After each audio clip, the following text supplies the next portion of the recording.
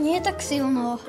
Tak ja slabšie neviem, som kapitán Leo. Si vravel, že tvoja super schopnosť je neviditeľnosť. Už mám iné. A bol si za sestrou v nemocnici? Keď bola moja mama v nemocnici, bol som tam.